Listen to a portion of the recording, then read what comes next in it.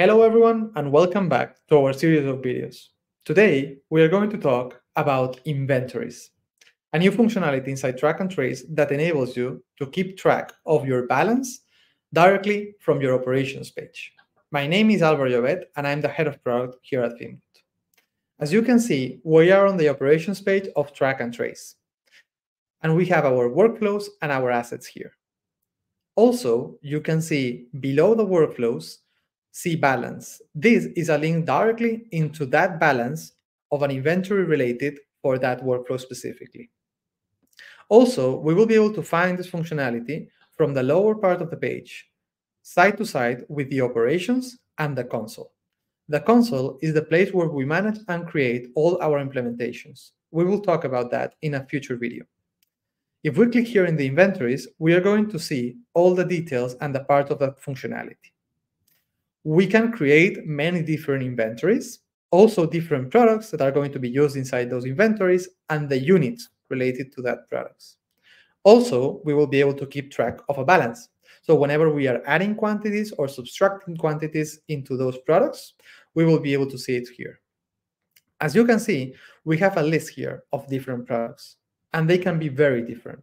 We have renewal credits, circular credits, but also, for example, we are keeping track of cells and batteries. So as you can see, they can be real products being tracked across your supply chains, but also they can be different types of assets, in this case, sustainability assets. Let me jump into another screen that I have already prepared where I have my balance. Inside the balance, we can see all the list of transactions related into that product, in this case, the renewal credits. Let's take a look more specifically into those into these two transactions. Imagine a supply chain process, in this case, related into creation of polymers, with in this case also we're talking about waste. We are working here with mass balance. That is a very common practice to keep track of products across supply chain whenever we are talking about renewable sources. In this case, we have two transactions. One adding into that balance, in this case was waste, but then using that balance for a polymer creation. We can see a transaction adding, in this case, sustainability credits whenever we are using, we're receiving waste, and then subtracting those renewable credits whenever we are talking about the creation of the polymer. In this case specifically, we can find more information about that related asset.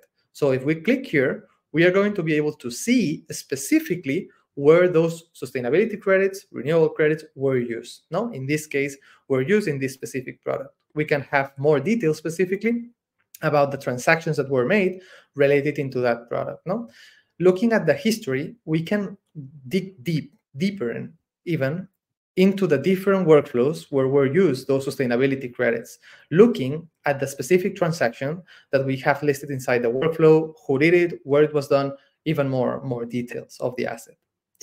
As you can see, inventory is a very flexible tool. It can be used for many different products in every in a lot of different industries. If you want to know, know more about track and trace and our different functionalities, stay tuned and look into our next series of videos. Thank you very much.